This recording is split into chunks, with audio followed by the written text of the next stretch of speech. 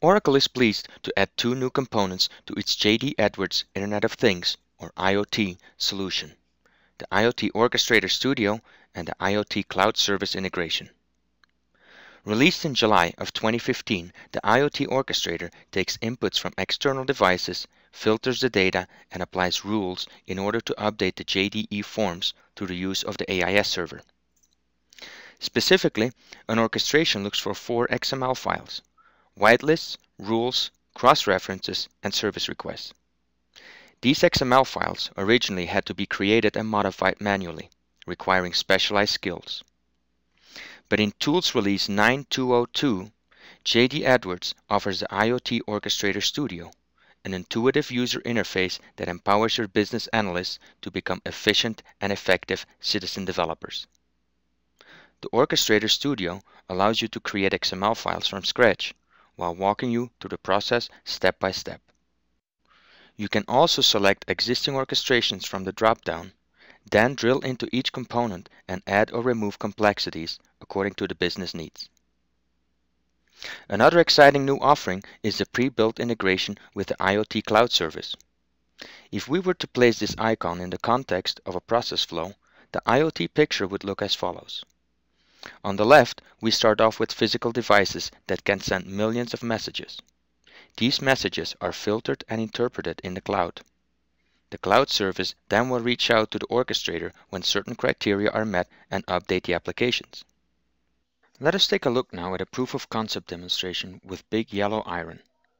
We can do things like starting the engine and changing its status to working, or take it for a ride and update the longitude and latitude. On the right hand side, we can track things like fuel, the state of the electrical controls, and oil pressure. Any breach can create an event. For instance, a loss of the electrical system will shut down a machine. Or a collision can be simulated, which will then update the JD Edwards health and safety management applications.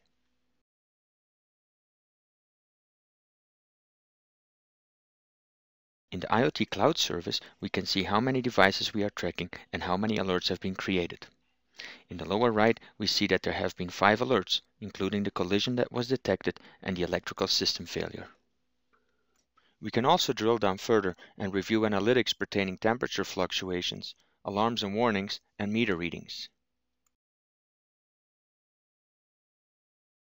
In the Integration tab, we can see that JD Edwards truly is a fully integrated product and where we can see what kinds of updates and alerts we pass on to the orchestrator.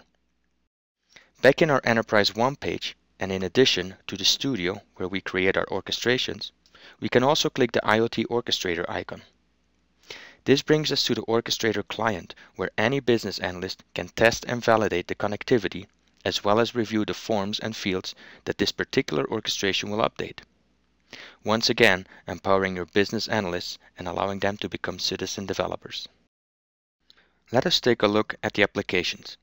In this equipment master form, we can preview the asset, its status, and its location all in one form, thanks to the use of the Composite Application Framework, or Cafe One. We can use a mobile app to track equipment in a certain radius.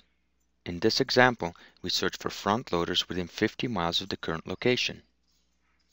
Notice in the lower right the Locate Equipment button.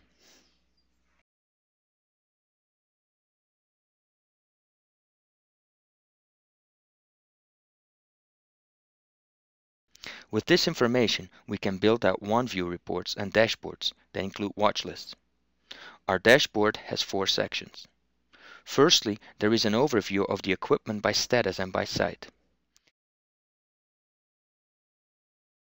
The meter reading tab keeps track of our runtime. The next section are the work orders that are assigned to Frank Planner, who is the user under which we are logged in. Lastly, Frank wants to keep track of the incidents by date and by asset. We can also visualize our equipment on a map and toggle between the equipment statuses. Each balloon can give us a quick overview of the outstanding alerts. We can include any form of content, for instance a meter reading.